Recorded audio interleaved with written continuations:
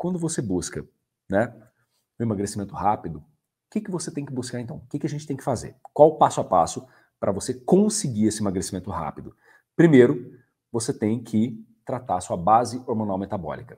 Através, como que a gente vai identificar os problemas dessa base hormonal metabólica? Através de sintomas que você apresente, se você se sente cansada, sono, intestino, pele, o cálculo que a gente faz ali de peso, humor, ansiedade, irritabilidade, compulsão, tudo isso me diz sobre vários problemas hormonais diferentes do seu organismo. Aí a gente começa a traçar uma rede de conexão desses sintomas para desenhar um tratamento para você. E exames de sangue.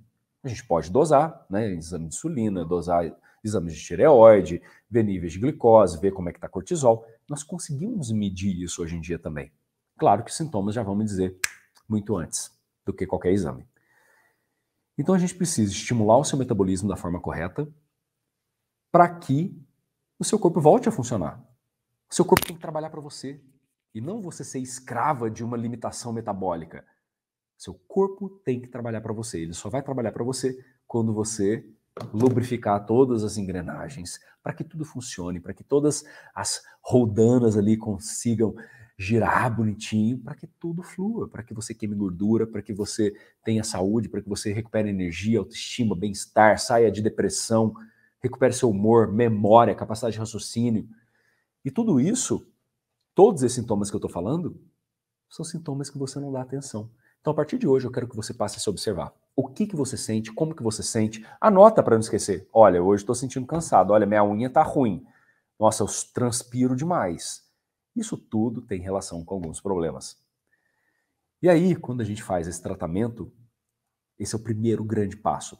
A gente tem que entender que a gente tem que aliar tudo isso a uma alimentação saudável, com baixo índice glicêmico, com proteína, com nutriente, com carboidratos complexos, claro, variando de estratégia nutricional, uma hora tem jejum, outra hora não tem, desintoxica esse organismo. Para que esse emagrecimento rápido aconteça, para que a gente vá estimulando o seu corpo. Então, primeiro, você tem que tratar isso. E aí, quando a gente começa a tratar e você tem emagrecimento rápido, né, você vai ter outros efeitos do emagrecimento rápido.